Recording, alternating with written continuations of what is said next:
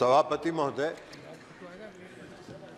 मैं अनुराग ठाकुर जी द्वारा जो राष्ट्रपति के, महामहिम राष्ट्रपति के अभिभाषण पर धन्यवाद का प्रस्ताव पेश हुआ है, उसके समर्थन में बोलने के लिए खड़ा हुआ।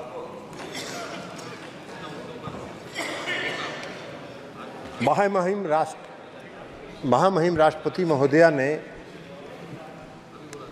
अपने अभिभाषण में पिछले दस वर्षों में इस देश के आदरणीय प्रधानमंत्री नरेंद्र मोदी जी के नेतृत्व में जो काम किया है, उसका दर्पण उस राष्ट्रपति के अभिभाषण में है। और अभी आने वाले बजट में जब अगले सत्र में इस देश के लिए बजट पेश होगा तो उस समय पाँच वर्षों के कार्यक्रम के साथ परफॉर्म, रिफॉर्म और ट्रांसफॉर्म का पूरा संकलन और पूरा उसका विस्तृत ब्यौरा पेश किया जाएगा। प्रधानमंत्री जी ने तीसरा कार्यकाल पूरा किया।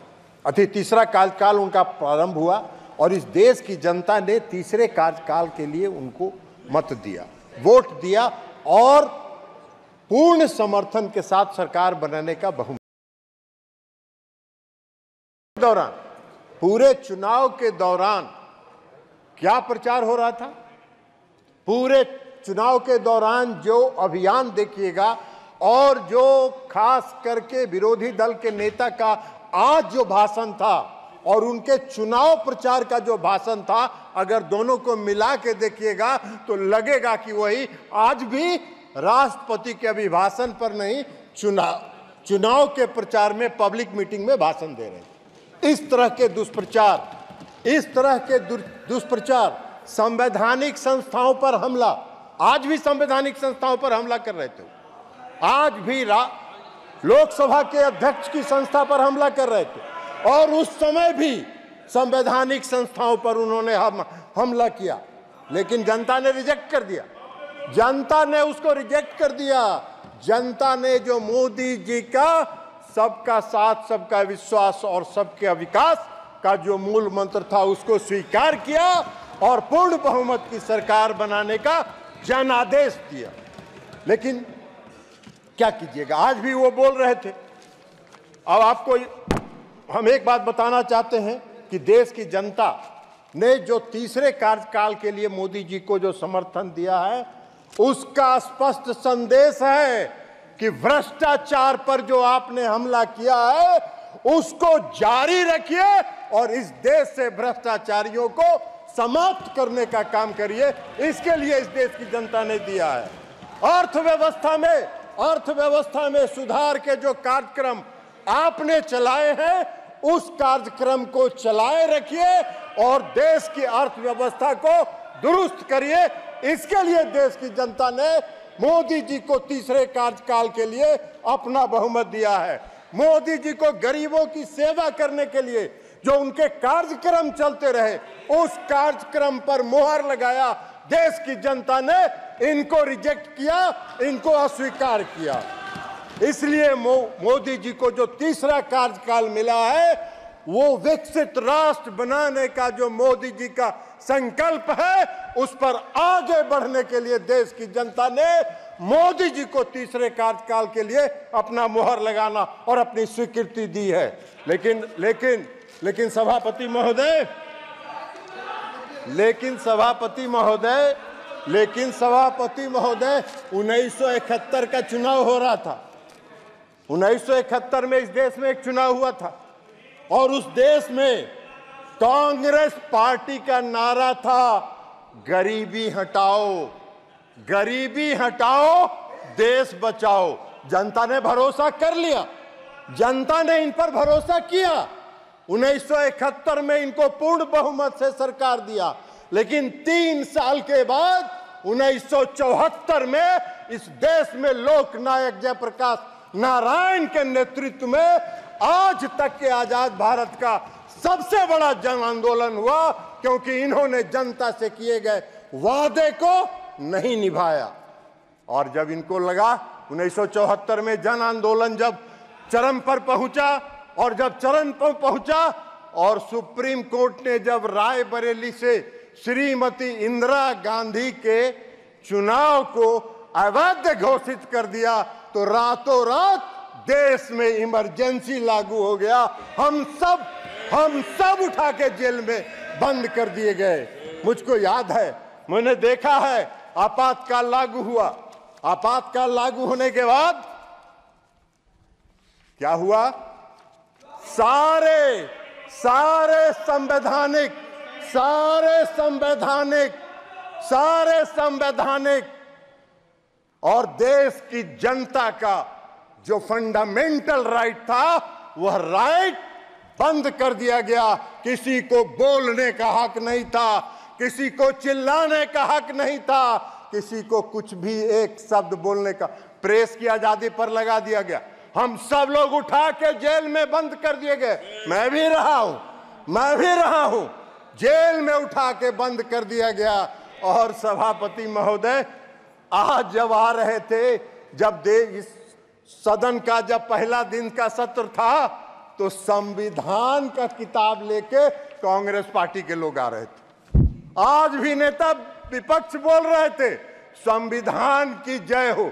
अरे जिस व्यक्ति ने और जिस पार्टी ने इस देश के संविधान का धज्जी उड़ाया हो, जिस देश, जिस जिस पार्टी ने इस देश के संविधान को चकनाचूर किया हो, जिस पार्टी ने इस देश के संविधान को कलंकित किया हो, उसको संविधान लेके सदन में आने का क्या हक है और संविधान की बात करने का क्या हक है?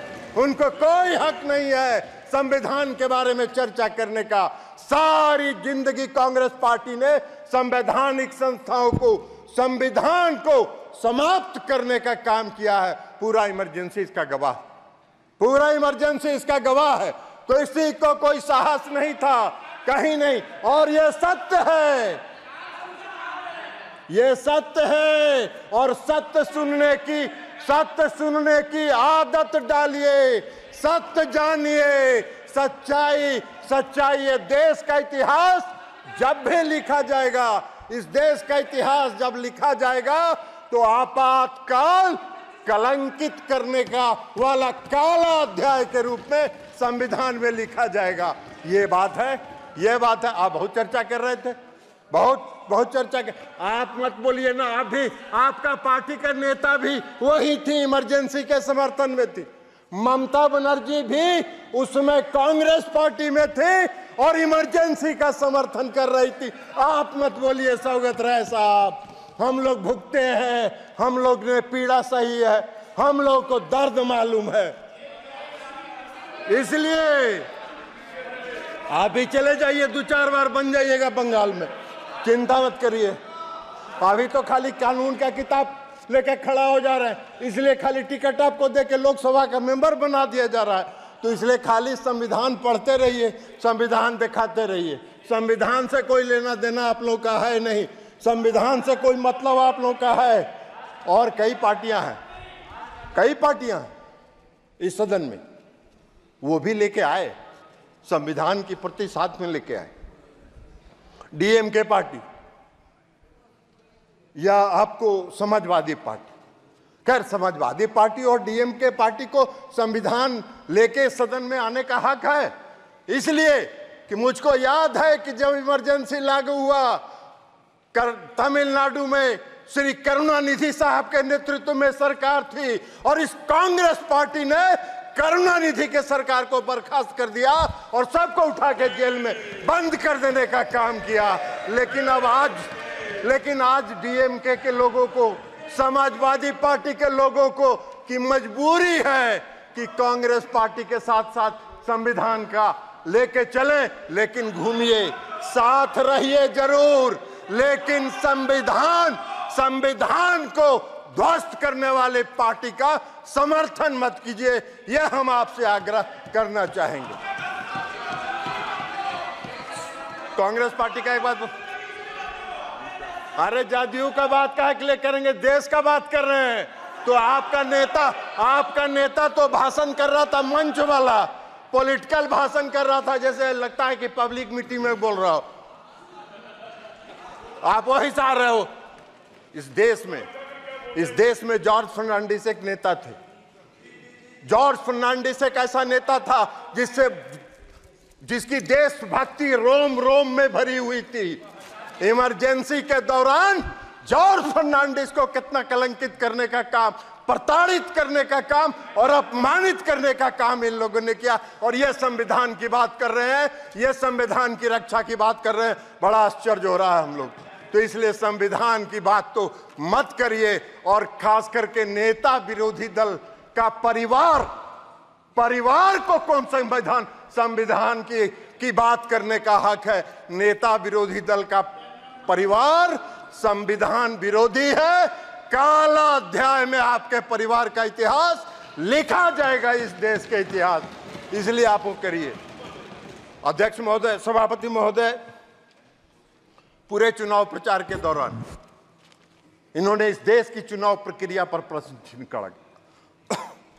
इस देश की चुनाव प्रक्रिया पर प्रश्न चिन्ह खड़ा किया। ऐसा घूम घूम के प्रचार करते रहे, जैसे लगता है कि देश में चुनाव निष्पक्ष हो ही नहीं रहा। पूरे दुनिया में देश को कलंकित करने का काम इन लोगों ने किया। बीच बीच में सुप्रीम कोर्ट जाते रहे चुनाव आयोग को और ईवीएम मशीन को चुनौती देने के लिए। और इनको, और अगर ईवीएम खराब है, ईवीएम खराब है तो सौगत राय जी, ममता दीदी का सरकार बंगाल में कैसे बन गया? हिमाचल में आपकी सरकार कैसे बन गई? कर्नाटक में कर्नाटक में आपकी सरकार कैसे बन गई? तेलंगाना में आपकी सरकार कैसे बन गई? अगर ईवीएम खराब है तो जब आपको मिल जाए तो बड़ा आनंद में और जब हारने का बारी आए तो ऐसा सो करिए कि जैसे लगता है कि निष्पक्ष चुनाव नहीं हो रहा है, बेईमानी से कोई जीत रहा है। अरे देश की जनता कभी आप पर भरोसा नहीं करेगी। बैलेट पेपर जब चुनाव होता था, हम लोगों ने देखा। बैलेट पेपर से जो चुनाव होता है, हम लोगों ने देखा। एक एक थाक का थाक, बैलेट बॉक्स से बैलेट पेपर निकलता था। थाक का थक, जिस पर कोई वोटर का दस्खत नहीं, कुछ नहीं। और उसी की गिनती होती थी, और यही प्रक्रिया आप चलाते रहे, और सत्ता का आनंद लेते रहे, देश के संविधान का धज्जी उड़ाते रहे, वही आज भी चाहते हैं, वही आज भी चाहते हैं। नरेंद्र मोदी जी की सरकार इसको कभी स्वीकार नहीं करेगी। इस देश की जनता का भरोसा नरेंद्र मोदी जी पर है। तो इसलिए आप इस पर चिंता मत कीजिए और इसके साथ साथ मैं आपको और याद है ना, आपने देखा था? अभी बोल भी रहे थे। कोई स्पीकर बोल रहे थे? आप मोदी जी पर आरोप लगाते हैं कि संविधान की धज्जी उड़ा रहे कौन से संविधान की धज्जी उड़ा रहे अरे मोदी जी तो जिस दिन एनडीए की बैठक थी, इस बार तीसरे कार्यकाल में भी तो मोदी जी जब संविधान सभा के सेंट्रल हॉल में आए तो सबसे पहले उन्होंने जाके देश के संविधान का नमन किया और जिस व्यक्ति ने देश की संविधान का नमन करके अपने नेतृत्व पर और देश की बागडोर संभाली हो, उससे संविधान को खतरा नहीं है। संविधान को खतरा है तो आपसे है, कांग्रेस पार्टी के से है और कांग्रेस पार्टी संविधान विरोधी रही है और रहेगी। प्रधानमंत्री जी ने कई योजनाएँ चलाई। पीएम किसान निधि योजना और जो आज विकास का दर है, ये दर आज हम आठ, पाँचवें नंबर पर थे हम अर्थव्यवस्था में अति ग्यारहवें नंबर पर थे और हम दस वर्ष में पाँचवें नंबर पर आ गए। और मोदी जी का लक्ष्य है, मोदी जी का संकल्प है, आदरणीय प्रधानमंत्री मोदी जी ने घोषणा किया है कि पाँच वर्षों में साथ दिए थे अरे सब बता रहे हैं, आपको बता दिया। आपको बता दिए हैं, आपका वही चरित्र है। अभी उनके साथ घूमिए, नेताजी की आत्मा ऊपर से रो रही होगी। मो, अरे नेताजी के, नेताजी की आत्मा रो रही होगी। ग्यारहवें स्थान पर था। आज अर्थव्यवस्था पाँचवें स्थान पर है और मोदी जी का संकल्प है कि पाँच वर्षों में तीसरे स्थान पर पहुंचाएँगे। अकेले अकेले भारत का, अकेले भारत का जो योगदान है, इस दुनिया के विकास दर में वह पंद्रह प्रतिशत है। यह मोदी जी की सरकार की उपलब्धि है। आपके सरकार की उपलब्धि नहीं है। इसके अलावा आज आज यहाँ प्रहलाद जोशी जी बैठे हैं। रिन्यूएबल एनर्जी देख रहे हैं ये। रिन्यूएबल एनर्जी आने वाले समय में इस देश में अगर ऊर्जा पर और बिजली के लिए अगर आत्मनिर्भर होना होगा तो रिन्यूएबल एनर्जी पर ही वही एकमात्र स्रोत है जिस पर आपको आत्मनिर्भर होना होगा। थर्मल से आपकी जरूरतें पूरी हो सकती हैं अभी। तत्काल लॉन्ग रन के लिए वह उचित नहीं है। और जो पीएम सूर्य घर मुफ़्त बिजली योजना प्रधानमंत्री जी ने चलाई है। उससे इस देश के बिजली का उत्पादन सोलर प्लेट के माध्यम से बढ़ेगा और जब बढ़ेगा तो देश बिजली के क्षेत्र में आत्मनिर्भर होगा और थर्मल पावर, थर्मल से आपकी जो उसका, उसके ऊपर जो आपका है? हाँ उसके ऊपर जो आपका डिपेंडेंस है, वो डिपेंडेंस घटेगा और आप अपने घरों में बिजली उत्पादन करके बिजली को आगे बढ़ा सकते हैं। पीएम किसान सम्मान निधि, प्रधानमंत्री मोदी जी का जो गरीबों के प्रति संकल्प है, अस्सी हज़ार करोड़ लोगों, अस्सी करोड़ लोगों को तो मुफ्तना दे ही रहे हैं। पीएम किसान सम्मान निधि भी आज जो उन्होंने दिया है, लगभग बीस हज़ार करोड़ रुपए से ज़्यादा उन्होंने किसानों को दिया है। और इस कार्यकाल की शुरुआत के साथ, इस कार्यकाल की शुरुआत के साथ भी प्रधानमंत्री जी ने बीस हज़ार करोड़ रुपया जारी करके लोगों को घर तक, लोगों को किसान पीएम किसान सम्मान निधि पहुँचाने का काम किया है। पहला फैसला मोदी जी की सरकार ने किया कि तीन करोड़ लोगों को घरों का निर्माण कराया जाएगा। ये बहुत बड़ा निर्णय है। ये संकल्प शक्ति का प्रतीक है। और मोदी जी ने जो इस देश की जनता को जो वादा किया है, उस वादा को पूरा करने के प्रति उनका जो संकल्प है, उस संकल्प को दृढ़ शिक्षा शक्ति को दर्शाता है। और इसलिए हम राम महामहिम राष्ट्रपति के अभिभाषण का समर्थन करते हैं। और कांग्रेस पार्टी के को संविधान विरोधी घोषित करते इनको याद है। इनको याद है। उन्नीस सौ चौरासी में उन्नीस सौ चौरासी में जो यहाँ दंगा हुआ था यहाँ जो दंगा हुआ था दिल्ली में यहाँ जो दिल्ली में दंगा हुआ था हज़ारों की संख्या में कांग्रेसियों ने सड़क पर घूम घूम के सिखों की हत्या करने का काम किया था। और ये और ये लोकतंत्र की बात करते हैं ये संविधान की बात करते हैं इनको कोई हक नहीं है। बहुत बहुत धन्यवाद।